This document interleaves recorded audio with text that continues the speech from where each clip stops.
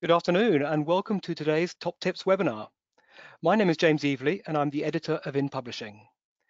These are strange and unsettling times with business models and patterns of working thrown upside down. I'm trying to avoid using the word unprecedented because my kids have started keeping a tally of the number of times I say it. But that is exactly what it is. Today's webinar will look at one significant aspect of the coronavirus crisis, namely working from home. The format of the webinar is very straightforward Russell will make a 20-minute presentation, which will be followed by a 10-minute Q&A. To take part in the Q&A, simply type your question into the panel in front of you at any time. I will then collate the questions and put as many of them as possible to Russell after his presentation. I won't read out the names of the people asking the questions, just the questions themselves. So without further ado, I'd like to hand you straight over to Russell. Hello, and thank you for joining and welcome everyone. So yes, as James said, we're going to talk a bit about the subject of uh, working from home and in the current circumstances, how best to um, make these uh, processes work. So uh, just a little bit of background. Um, we're going to cover some of the key topics. Um, so adapting your home, how you deal with family um, in the house, not used to working together all the time, how to deal with communication at work um, when you're working remotely, and with a particular emphasis obviously on the magazine um, production and content creation process, how to track work in progress, looking at tools and technologies you can use to aid in those things, and um, maintaining effective remote collaboration. And then how a little bit about maybe how to um, support your staff in the process as well, given the amount of uh, change that they're going through at the moment. So a little bit of uh, background and context about us and why we're doing this. Um, Evolved Media is a company that's been around for about 13 years now. We've got a wide range of clients across the media industry, um, not just publishing, but um, media companies, broadcasters, music producers. Um, so we deal with a quite a wide range of companies that are both local and international. We've actually been running as a virtual office for about five years. So a lot of the changes that people are making now very rapidly, we've had the time to do over a number of years, find the pitfalls, uh, make mistakes and try and work out good processes and good ways of working for our teams. Also, our teams are actually quite um, disparate in terms of location. So while a number of us are based in and around London, uh, there's a couple of us also based in Turkey, um, in Istanbul, who do development work, and at least one of those actually spends about a quarter to a third of his year being a digital nomad, traveling around and doing his work. So, um, yeah, we've had to develop a lot of processes around how to work remotely, how to manage a team that are very rarely ever in one place. Um, we are a partner for editorial tools for the Woodwing products. Um, so we are a partner and system integrator. Those tools are often used by a lot of our customers for these kinds of uh, remote collaborations. Um, so that's also part of what we do. Um, we have a sister company who's kind of a mirror image of us based in the Netherlands. So we also work with those with remote working tools and processes as well and share projects across the two companies. And uh, as you can see, there's a kind of wide range of customers there that um, we work with. So yeah, why why did we go virtual? Um, so the background is that yeah, most of the time we used to have an office. So for six or seven years we had an office. Um, we found that customers rarely came to us. Most of the time we went to customers for meetings and uh, sometimes had our staff based at customers for projects and implementations. Um, yeah, staff were largely moving around, rarely in the office. So there was only ever a few people in the office. Our customers were also becoming more and more uh, geographically diverse. So some of our customers, we are operating with teams that are not based in this country, um, maybe on the east and west coast of the US.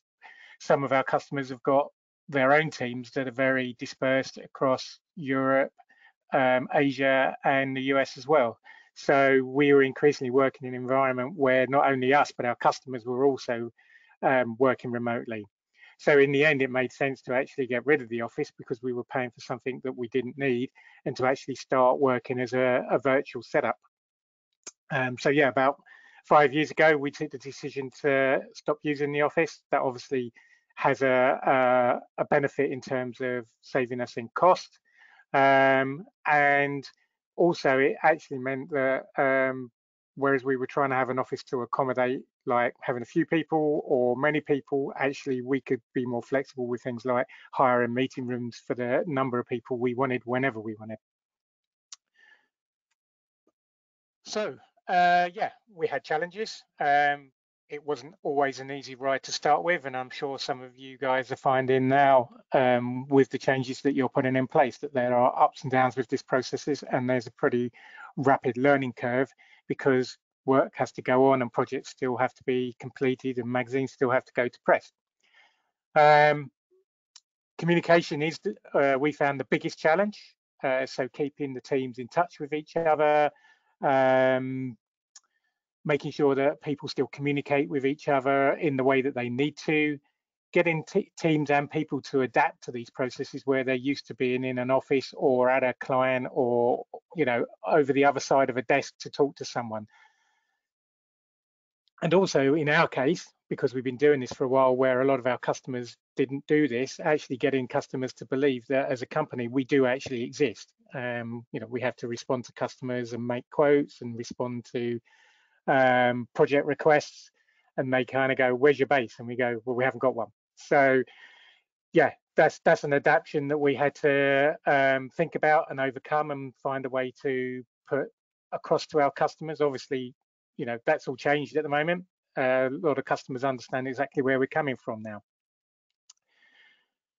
And then around that, in our case at the time, finding the right um, tools and facilities to both work with electronically, but also to have as places we could go and meet. Obviously, the current problems uh, prohibit us from going out and using those facilities, but uh, for the last few years, we have used a lot of things like Regus, various um, office service companies where you can rent rooms by the hour, etc.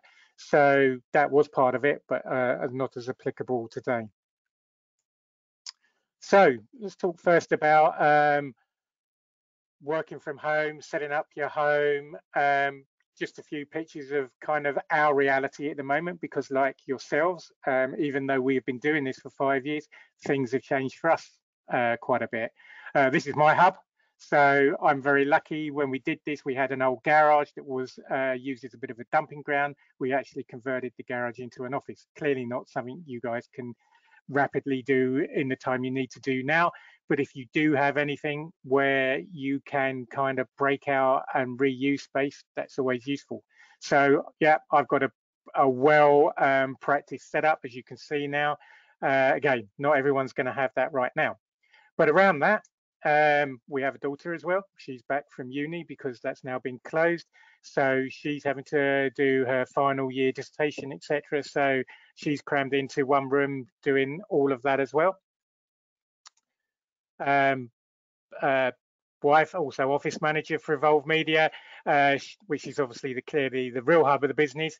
Um, she's also working from home, so that part of the business is being run from home as well and my son who's at college he's back at home because the college is closed and uh, doing some work around engineering and 3d printing and we currently have a setup um, apart from the dog obviously in his uh, mate do kennel. We are 3d printing masks for healthcare workers etc at the moment. So we've basically set up in the front room um, a factory to print things. So there's quite a lot going on um, in our house. And obviously we are having to adapt around that. It's very busy. I'm sure it's the same for you guys um, and for your teams that are all working from home. That you know, not everyone has the benefit of the space we do. Uh, people are having to work from flats and apartments, maybe with kids in the house as well, pets, etc. A lot of background noise also not used to the fact that neighbours as well are around all the time that maybe would normally be out of office. So there's a lot going on around you. So a few things that um, we found around trying to adapt and even more so now is establishing some, I suppose the word I use is etiquette around the house. How do people do things? Um, some of my team are not used to having all of their partners at home as well, working um, for their companies still at the same time. So they all do things like conference calls, uh, WebExes, and obviously Zooms and things like that. How do you manage to do all of these things together in a house where often you're sharing space? So we try and establish some etiquette in the sense of who does what when. Can meetings be staggered so you're not all on conference calls at the same time? Uh, can you time things there so that one of you can take over a room while you're on a call, while the others can move to somewhere else, so that there's not a lot of background noise?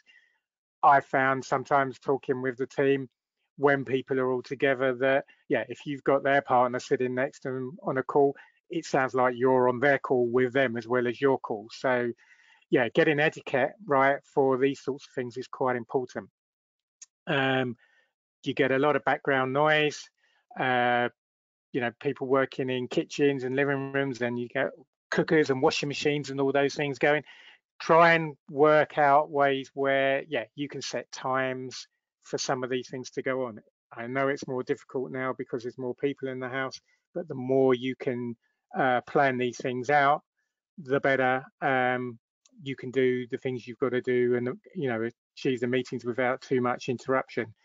We have found also with some of our clients um, where they're you know changing and adapting that they're starting to stagger work hours. So i know that a couple of my clients i'm speaking to them quite late in the evening because they've got quite young kids in the house and they take turns in looking after them.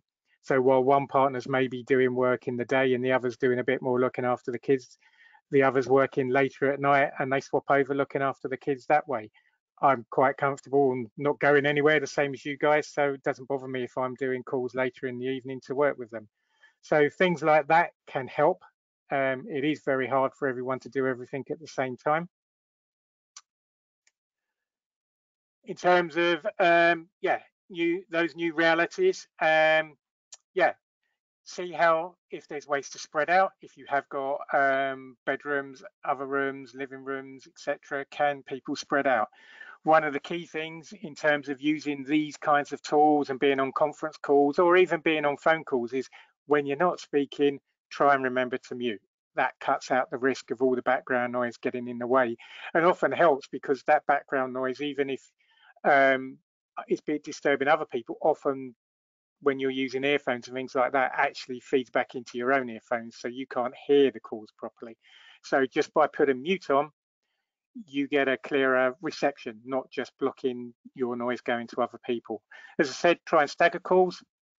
And one of the things I would say, everyone's been going on about things like Zoom and using that at the moment is um, if you don't do video, it's actually easier for you to move around to do your calls. A lot of people are doing video, which means they're restricted to the places in the house they can do it, sometimes because of their Wi-Fi reception. If you just do audio, um, then you can move to other rooms. You can either take the choice to do calls while you're on your daily um, walk or walking the dog, etc. Again, if you're using mute, it doesn't get in the way. So you can establish flexibility um, around the, the way you do things with your calls. Um, yeah, kids and pets, there's, they're unavoidable. I've met a lot of my customers, kids and pets, over the last two weeks um, and obviously they've met some of ours. Um, yeah, it's just part of life at the moment. I think everyone is accepting of that reality, and yeah, um, in some ways it's a nice change for us. We see a bit more of our customers' uh, real life, not just their office life. But uh, yeah, it's a fact of life at the moment, and I think you have to be flexible that you're gonna get some of this interference when you're doing doing your work and doing calls, etc if you've got young kids, there's always the the radical option. Yeah, if they won't shut up, um, yeah, you can uh, make arrangements. But yeah, joking aside, um, normally, uh, yeah, we we've had kids joining calls. Um, has in, introduced a note of entertainment into the process. So talking about um, communication itself, um, yeah, there's a number of things that we found in the process of making these changes. Obviously, not everyone is com comfortable with this. A lot of people have worked in offices for years. They're quite used to the idea of being able to talk and get on with their work um, at their desks. Suddenly, they're thrust into a world of trying to use tools like Zoom and WebEx and GoToMeeting and things like that. And actually they're not necessarily that comfortable with it. So you've got to be aware of that with your teams and actually try and nurture that change and encourage them on, um, recognizing that actually, yeah, some of those people are not going to be very forthcoming in the new mediums. Um, you're going to need to actually engage with them in terms of, you know, making sure that their voice is heard in the process. Um, but I, what I would also say is actually establish some etiquette around this process in the sense of making sure that people understand what is formal and informal communication. So you will have meetings, obviously, like you do in an office that are more formalized. People don't always recognize that when you're doing calls online that, yeah, you can still be having the more informal type of one-to-one -one meeting or one-to-one -one chat, and that that's that's okay. They don't have to assume that everything is formal you kind of still need that water cooler environment. So you need to kind of establish the fact that people can talk to each other, encourage them to talk to each other, maybe one to one over the tools, um, whatever it is that you use, and the fact that you need to fill the voids where conversations would normally go on in an office that you kind of you know, it's the natural thing that goes on. People walk past each other, have a chat. Did you remember to do this? Did you remember that? Oh, what about this? This is a good idea. When people are separated like they are now, a lot of those kinds of conversations don't happen naturally. So you've got to make an effort to encourage people to use the tools to do that a bit more. As I say, fine with the people that are generally comfortable with technology, but you need to make sure that you're encouraging the people that say are, are less comfortable with it to do those kinds of things and to chat. As an example, when we made these changes, we had guys that um, thought that we use Skype a lot, thought that the way to use Skype was you come on into Skype, you launch your app, you do your your chat, and when you're done, you quit. And and effectively you're out of communication until the next meeting actually what we kind of do is make sure that people understand that those tools like Skype or Teams or something like that are open all the time. There is an etiquette around the way you communicate with people, so you can't just expect to kind of put some text into chat to someone and that they have to drop everything and respond to you immediately. But the door is open, the the the chat is there, so you can effectively walk up to someone and chat and tap them on the shoulder and say, "When you're free, have you got a moment?" Without them leaving those apps open, it's actually hard to know, yeah, when can I talk to you? When can't I talk to you? So actually that water cooler type thing is the fact that, yeah, whatever apps you use to do these kinds of things stay in communication need to be there so that they're effectively your mechanism to always be able to engage across the team.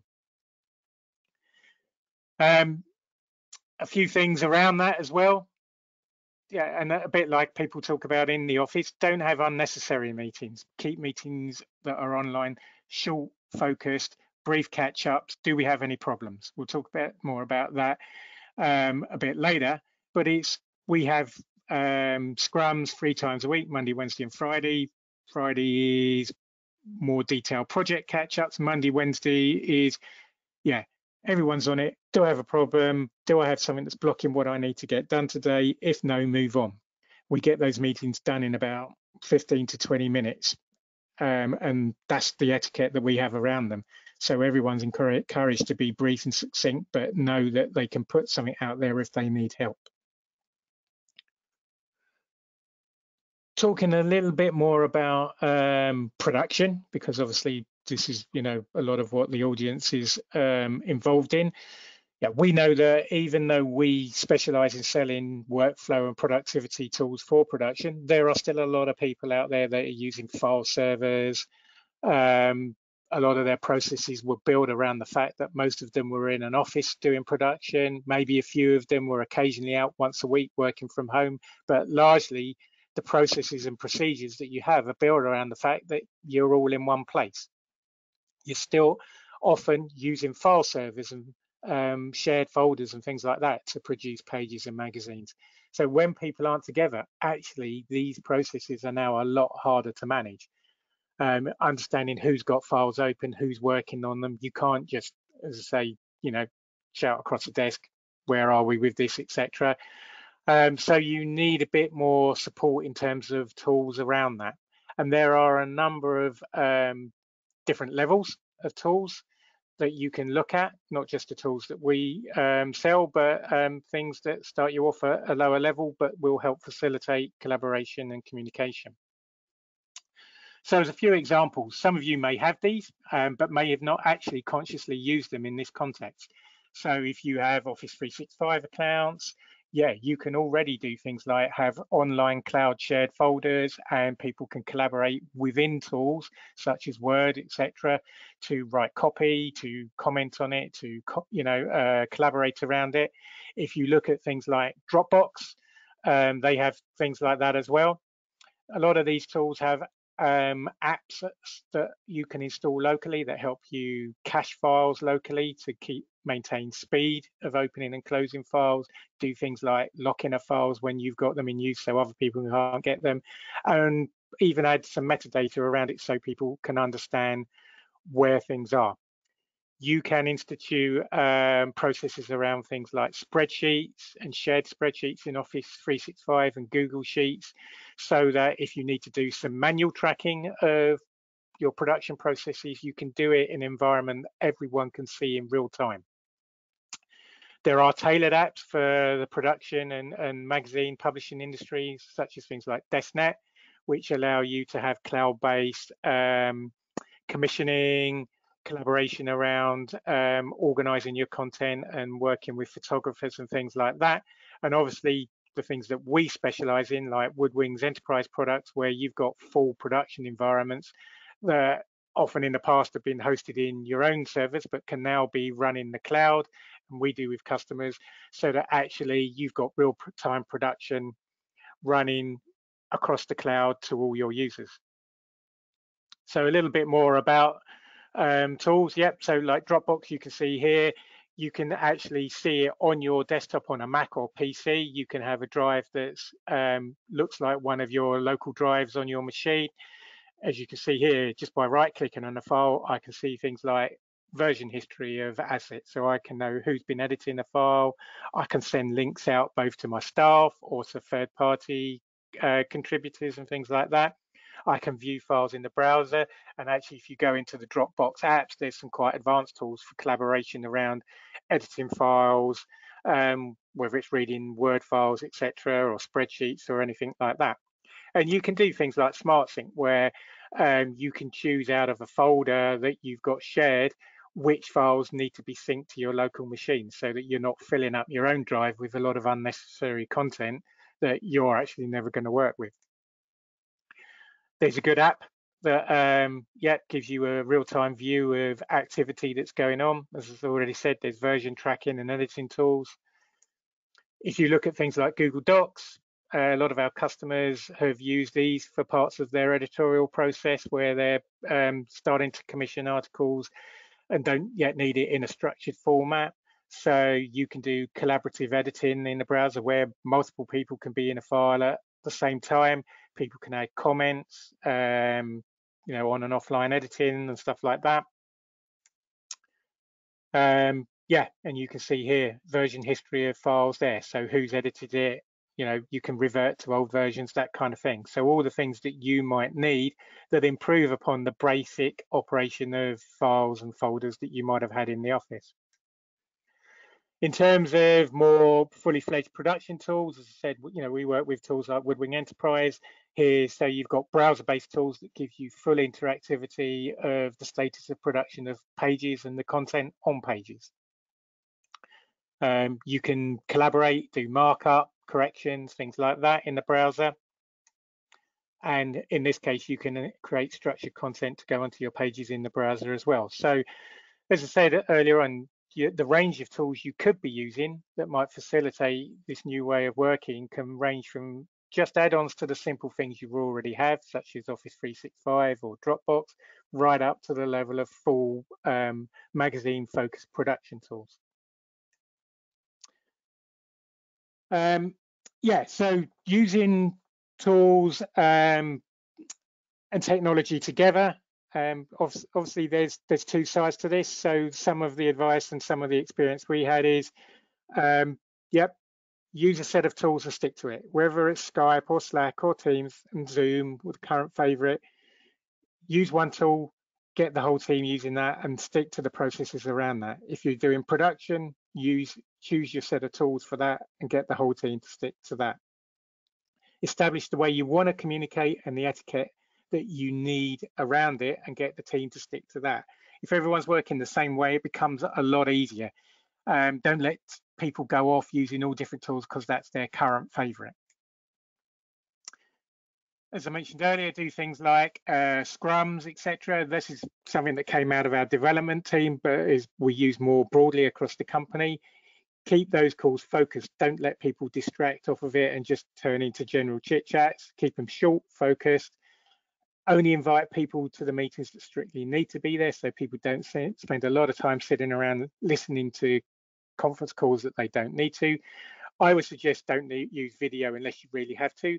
Some people are using it more because because they're stuck at home. They, you know, that gives them that feeling of a bit of social interaction, but it sucks up your bandwidth um, and can be a distraction as well. And as I said earlier, if you're just doing audio, it allows you more flexibility about moving around and and you know doing being in different places when you're doing the call as I say again, use your mute button copiously. Um, and notice that actually most of your kids, if you have younger kids that do gaming and things like that, they do all of this stuff already. They're probably more expert than you. And although that it does sound chaotic and sometimes probably a bit fruity if you're like ours and teenagers, um, they have their rules and their etiquette for doing it as well. They establish them and they stick to them. And if they don't, they generally kick their friends off if they're not doing it recognize that this is a process that will continue to uh, change and adapt over time. So regularly look at what's working and what isn't working for you and don't be scared to change it after say a couple of weeks if it's not the right way for you. And one thing I'd say is make a conscious effort with these tools to engage with the team or have people in your team that are good at engaging uh, with the rest of the team. I'm not always the one that has the time to do this, but I know there's one or two people in my team that across the span of a day will always be speaking to everyone in the team so that we know that they are okay, that they're there, um, yeah, and they're able to do their job. In terms of supporting your staff, regularly check in with the individuals, especially those that are not that comfortable using the tools watch for people that are dropping off the radar a bit, particularly obviously now with worrying about people being ill. Um, it's easy, particularly if you've got big teams, to forget those that are quieter. So just make sure you are checking in with them and let them know that this is what you're doing on them so that they don't feel that, you know, this is you just checking up on them and whether they're doing their work. It's generally, you know, are people okay? Um, they won't always say if they're not feeling good, you know. And if they don't respond, follow up.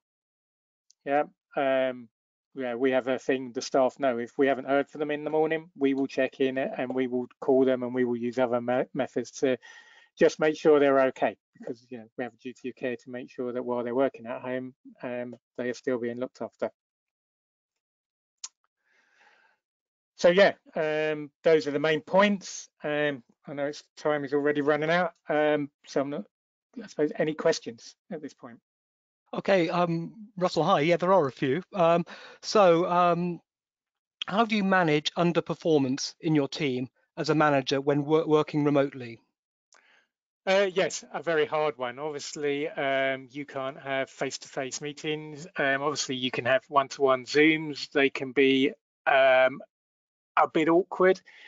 Um, yeah, I mean, I think this is a very difficult situation now in terms of where it is. You know, people could have all sorts of reasons um, for underperforming, obviously genuine health issues, uh, the fact that they're not comfortable with this new way of working. Um, so I tend to say it's a softly, softly approach at the moment. You know, as I say, it's to checking in with people, checking they're okay, trying to spot early if things are going wrong. If they're not, people aren't comfortable with this and these tools and these ways working, um, it's talking about it and, and as I say, that's defining the practices and ways to adapt that suit your team. Okay. Um, if working in collaboration with my team If one member goes sick, how easy is it to retask their work to another member and which tools are best at that?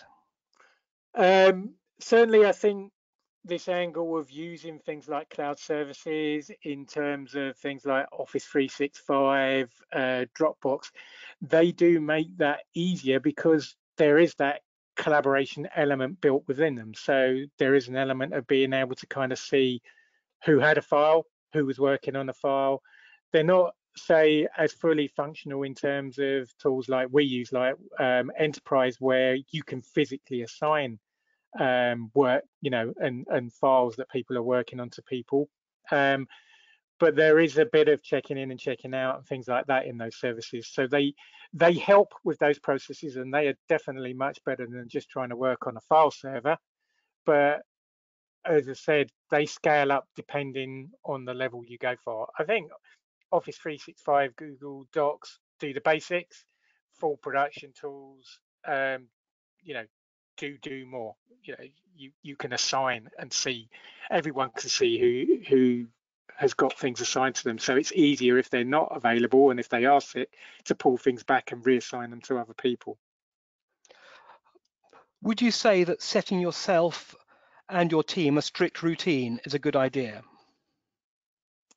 Um, I would say the routines in terms of what I talked about in terms of etiquette. So, you know, it is expected. We have a scrum on a Monday, Wednesday, and Friday. And in our case, the size of our team, which is on average eight to 10 people, um, they are expected to attend that.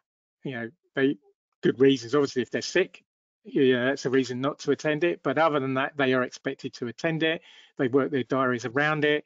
That is the way we stay linked together. And it is very much, we go through every person and we go, do you have a blocking issue? Do you have something that you need help with today? They are kind of now trained because we've been doing it for a few years where they literally come in and go, nothing for me today. Right, fine, move on to the next person. Yes, I've got something. Okay, short conversation. Does this need to be arranged as another call? Okay, take it out of this call, move on to the next person. That that's the kind of thing. But outside that, people's hours and times have to adapt around the situation that we're in now. So you you can't be overly rigid on that point. Okay, Russell, great. Do, do you encourage social gatherings? Um, uh, sorry, do you encourage social gatherings like the ones the staff might ordinarily engage in at a normal workplace? Like, hey, have you got time to go for a beer? Do you recommend virtual social hours? Um, so before this situation, yes, we we um, we didn't do it enough, and we did find actually that we we once went to a meeting with a customer, and one of my team walked in, and um, this one of the customers actually said, "When was the last time you two got together?" And we went, I think it was about four months ago. Um, so, you know, and that was just happened to be one person because we've been doing different things on different projects. But um, yeah, so in that case, we made a more conscious effort in to have physical gatherings um, and try and do it and have social things that got us together in London, etc. And do things occasionally where the guys flew over from Turkey, and um, if it coincided with the right sort of project stuff, we'd have a proper team gathering. Obviously, now that's out the window. Um, but do we do them socially? I mean, some of our guys are developers, they probably they'll do it through gaming or something like that. Um, they'll some of them find their own routes for that in the team.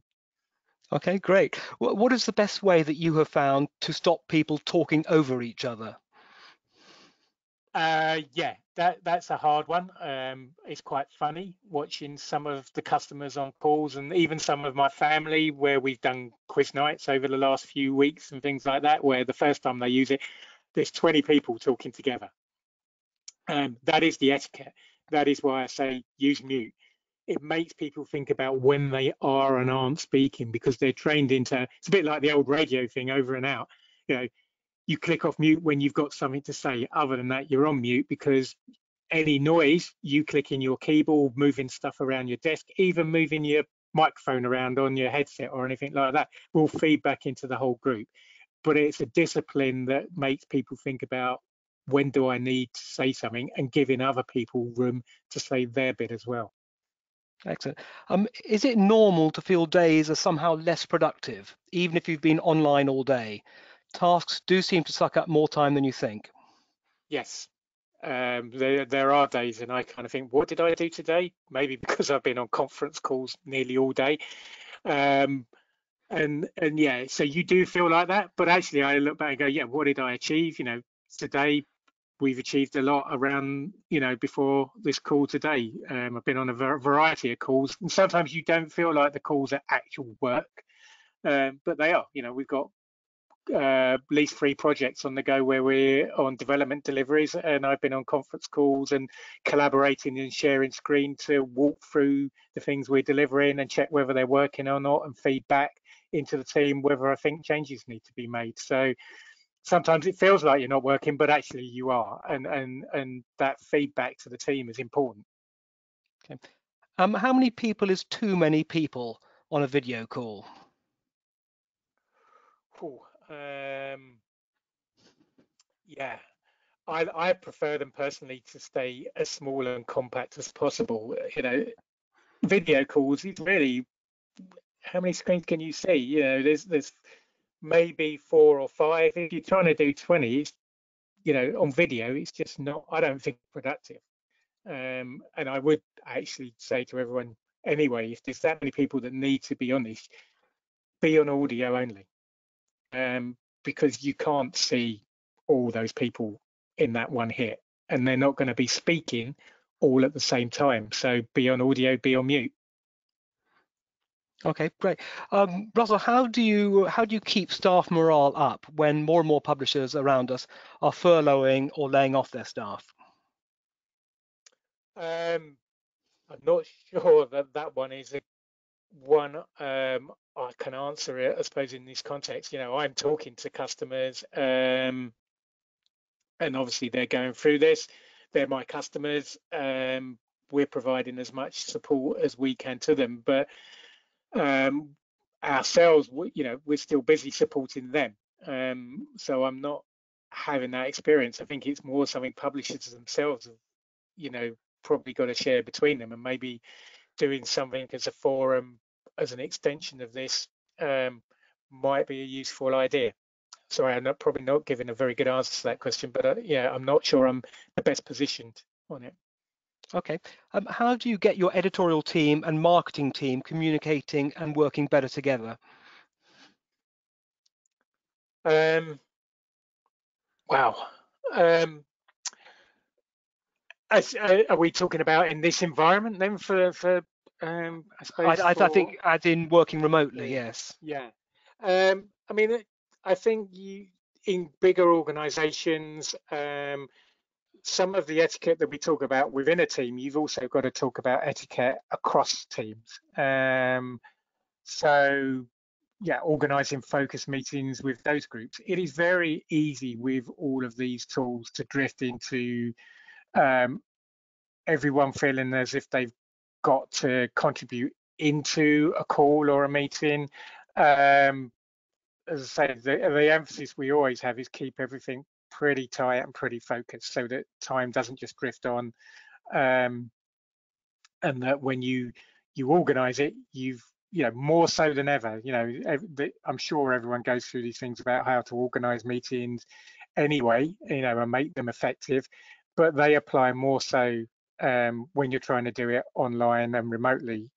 Um, so yeah having a reasonably good agenda you know if it's an individual call or if it's a repetitive call, having a, a, process that you stick to. This is how we do this call. And and also having people that are kind of the controllers of the call. You know, sometimes it's me, sometimes it's someone else in the team where we start to drift, kind of going, no, you know, we're drifting off the topic, we're drifting off the purpose of this call. That's for another call. Um, fine, take that as an outcome of this meeting that you need to go and do that. But let's get back to the topic of this call so that it stays focused on delivering what it's supposed to. All right, great, Russell. I've got time for two more. Um, first, of, first of all, I read somewhere that working in your pajamas was a bad idea. Um, do you have any thoughts on that? Um, yeah, I mean, I, I'm not sure it's a bad idea. I mean, I think that's more about personal um, you know how people keep themselves motivated, how they separate you know work from personal life in, in the home when you're doing this. I do know from experience that um, having you know done this for five years, in the first few years, and uh, my wife and kids will will probably say this as well. It is very easy to get sucked into working continuously. You know, it gets to five o'clock. Oh, it's all of a sudden seven o'clock. I'm still doing this. If I was in my pajamas, I'd still be in my pajamas at seven o'clock in the evening. So I think what you're really saying is establish some routines and some separations so that you can manage your time, particularly now where you can't go anywhere else. So okay. I think, yeah, you know, it's probably good to change to make sure you feel like I'm at work kind of thing. Okay, great. And, and finally, last one, Russell. Um, when this crisis is over, do you think publishers will be tempted to stick with remote working? Some will, definitely. I think some, um, you know, th this is a, a, changing moment. I've always said in some ways that publishing um, and I don't mean this in the wrong way, is a bit of a cottage industry. You know, if you look at how a lot of magazines start up, they actually started historically in people's front rooms and houses and grew into businesses as they became successful and then became part of bigger publishing organizations. We know that some of our customers already have quite significant chunks of their teams working from home, either full time or, or so many days a week and hot desking in offices. I think this will lead to an extension of that, and I think it will make some of the other publishing organisations recognizing recognise there are other ways to work. Um, yeah, you know, it won't be everyone, um, but I do think there will be a chunk of publishers that will will not go back to what they were doing before. Excellent. Russell, well, thank you very much. Um, that, I'm afraid that's all we've got time for. We've, we've overrun slightly, but there were, there were lots of um, excellent questions. So thank you very much for a fascinating presentation. Um, a recording of today's webinar will be available soon, and we will email you a link to it sometime tomorrow afternoon. We will be publishing more information about forthcoming webinars shortly. Until next time, stay safe, thank you for listening, and have a very good afternoon.